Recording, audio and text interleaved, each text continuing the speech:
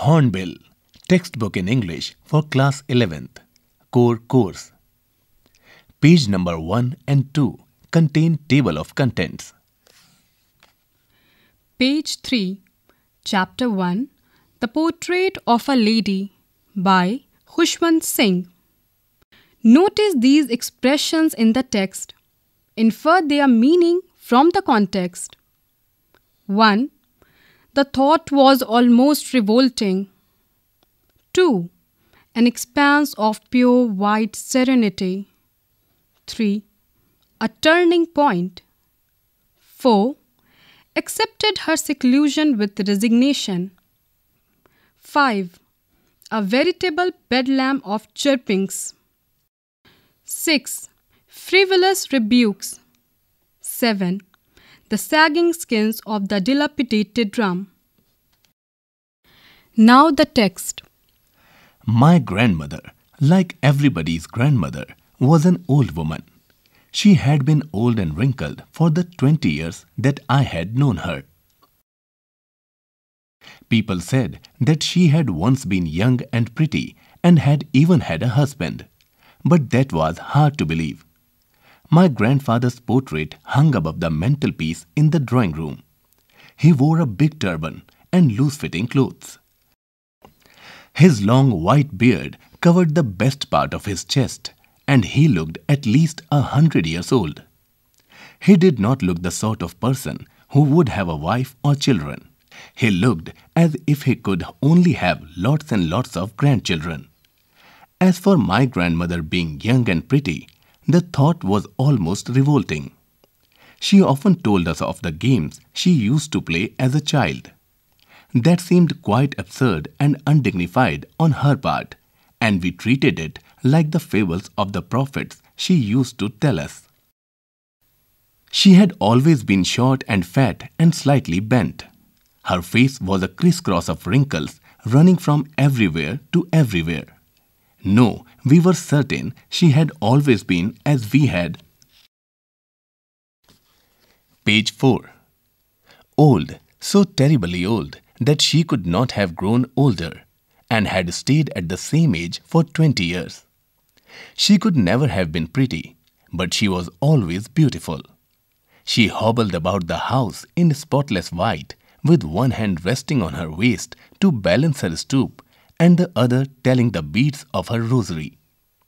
Her silver locks were scattered untidily over her pale, puckered face, and her lips constantly moved in inaudible prayer. Yes, she was beautiful. She was like the winter landscape in the mountains, an expanse of pure white serenity, breathing peace and contentment. My grandmother and I were good friends. My parents left me with her when they went to live in the city, and we were constantly together. She used to wake me up in the morning and get me ready for school. She said her morning prayer in a monotonous sing song while she bathed and dressed me in the hope that I would listen and get to know it by heart. I listened because I loved her voice, but never bothered to learn it. Then she would fetch my wooden slate which she had already washed and plastered with yellow chalk, a tiny earthen ink pot, and a red pen. Tie them all in a bundle and hand it to me. After a breakfast of a thick stale chapati with a little butter and sugar spread on it, we went to school. She carried several stale chapatis with her for the village dogs. My grandmother always went to school with me because the school was attached to the temple. The priest taught us the alphabet and the morning prayer. While the children sat in rows on either side of the veranda, singing the alphabet or the prayers in a chorus, my grandmother sat inside reading the scriptures. When we had both finished, we would walk back together. This time, the village dogs would meet us at the temple door. They followed us to our home, growling and fighting with each other for the chapatis we threw to them. When my parents were comfortably settled in the city, they sent for us. That was a turning point in our friendship. Although we shared the same room, my grandmother no longer came to school with me. I used to go to an English school in a motor bus. There were no dogs in the streets, and she took to feeding sparrows in the courtyard of our city house. As the years rolled by, we saw less of each other. For some time, she continued to wake me up and get me ready for school. When I came back, she would ask me what the teacher had taught me. Page number 5.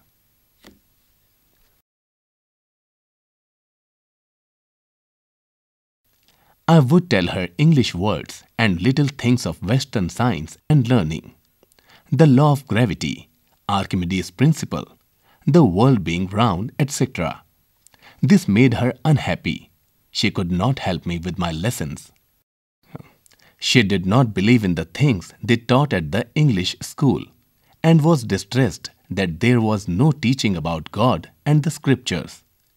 One day I announced that we were being given music lessons. She was very disturbed. To her music had lewd associations. It was the monopoly of harlots and beggars and not meant for gentlefolk. She said nothing but her silence meant disapproval. She rarely talked to me after that.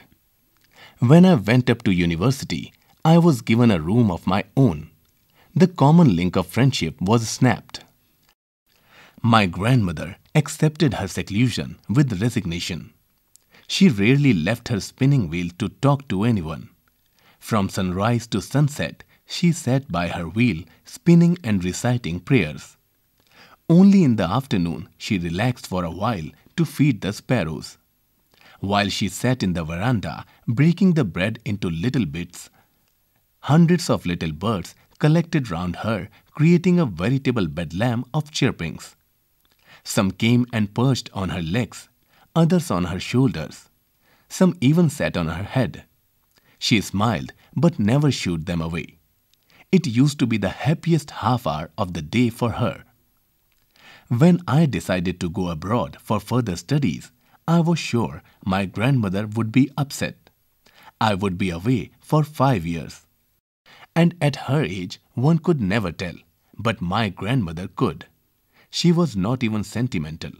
She came to leave me at the railway station, but did not talk or show any emotion.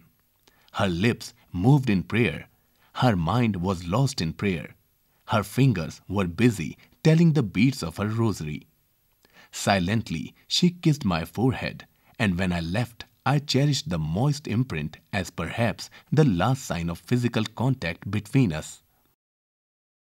But that was not so. After five years, I came back home and was met by her at the station. She did not look a day older. She still had no time for words, and while she clasped me in her arms, I could hear her reciting her prayers. Even on the first day of my arrival, her happiest moments were with her sparrows whom she fed longer and with frivolous rebukes.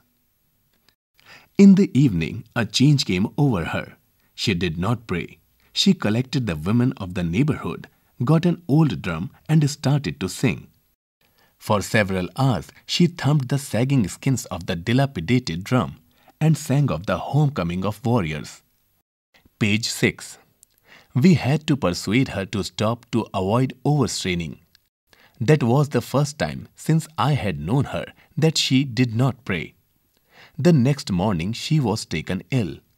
It was a mild fever, and the doctor told us that it would go. But my grandmother thought differently. She told us that her end was near. She said that since only a few hours before the close of the last chapter of her life she had omitted to pray, she was not going to waste any more time talking to us. We protested, but she ignored our protests.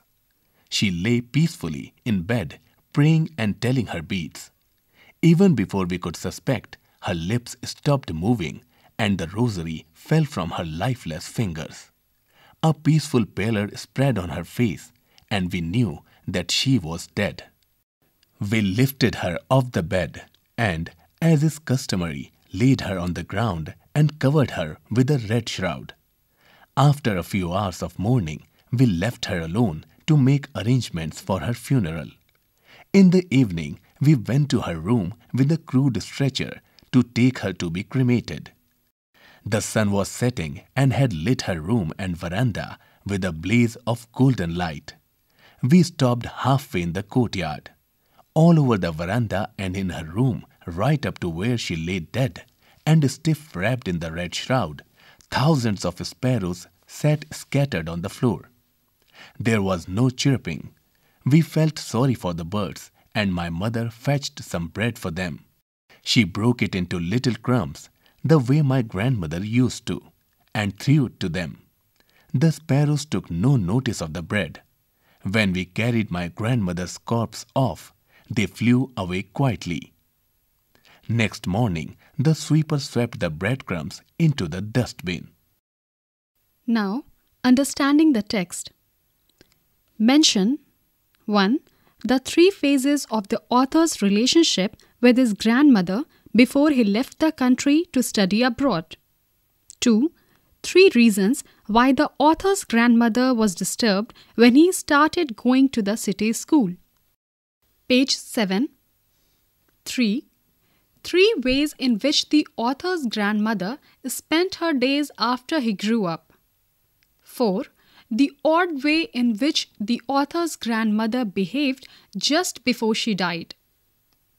5. The way in which the sparrows expressed their sorrow when the author's grandmother died. Talking about the text. Talk to your partner about the following 1. The author's grandmother was a religious person. What are the different ways in which we come to know this? 2. Describe the changing relationship between the author and his grandmother. Did their feelings for each other change? 3. Would you agree that the author's grandmother was a person strong in character? If yes, give instances that show this. 4. Have you known someone like the author's grandmother? Do you feel the same sense of loss with regard to someone whom you have loved and lost? Thinking about language. 1. Which language do you think the author and his grandmother used while talking to each other? 2.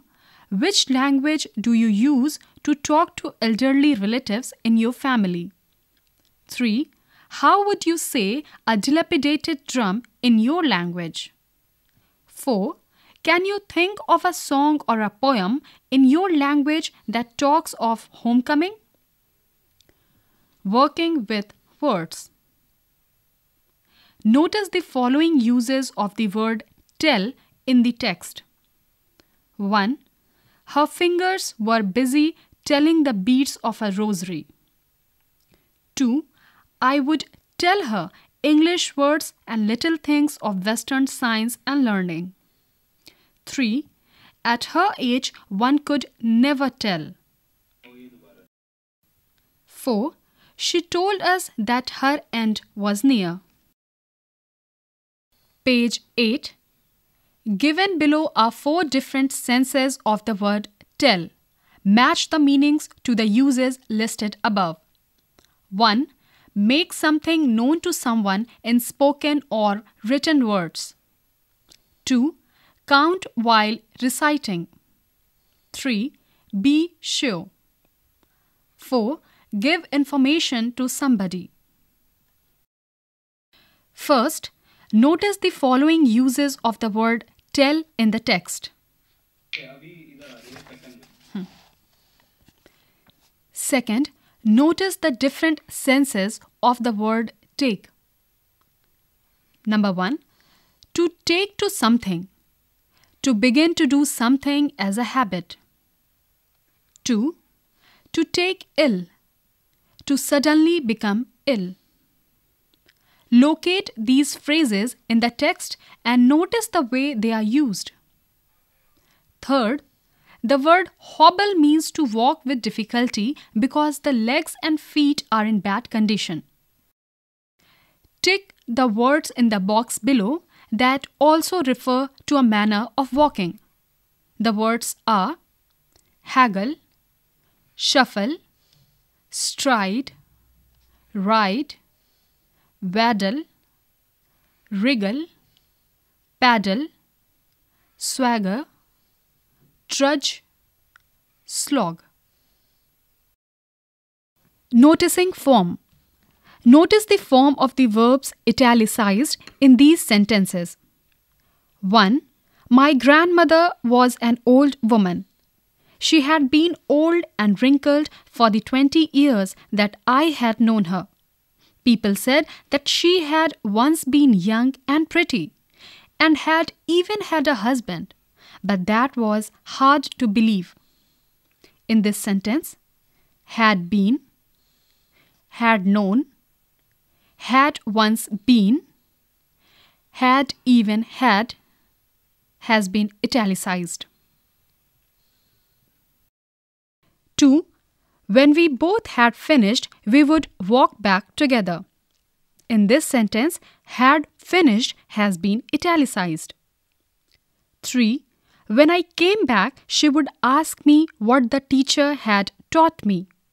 In this sentence, had taught has been italicized. 4. It was the first time since I had known her that she did not pray. In this sentence, had known has been italicized. 5. The sun was setting and had lit her room and veranda with a golden light. In this sentence, had lit has been italicized. These are examples of the past perfect forms of verbs. When we recount things in the distant past, we use this form. Page 9 Things to do Talk with your family members about elderly people whom you have been intimately connected with and who are not there with you now. Write a short description of someone you liked a lot. Notes Understanding the text. The tasks cover the entire text and help in summarizing the various phases of the autobiographical account and are based on the facts presented. Ask the students to read the text silently, paragraph by paragraph, and get a quick oral feedback on what the main points of each are. For example, para 1 Description of grandmother and grandfather's photograph. At the end of the unit, ask students to answer the comprehension questions first orally and then in writing in point form. For example, when he went to the village school, city school, or university. Talking about the text. Peer interaction about the text is necessary before students engage in writing tasks. The questions raised in this section elicit subjective responses to the facts in the text and also open up possibilities for relating the events to the reader's own life and establish the universality of the kind of relationship and feelings described in the text. Thinking about language. The questions here try to make the reader visualize the language that must have been used by the author and his grandmother. Think about their own home language. Page 10. Find equivalents in their language for English phrases. Relate to songs with emotional import in their own language. Working with words. Highlight different uses of common words like tell and take. Words used for different ways of walking. And semantically related word groups. You could add to the items by using the dictionary for vocabulary enrichment. Noticing form. Make students notice the use of the past perfect form of the verb that frequently appear in the text to recount the remote past. You could practice the form with other examples. Things to do Relating the topic of the text to the reader's real life experience. writing about a person who one holds dear. You were just listening to this chapter. It was presented by CIET NCERT, New Delhi, India.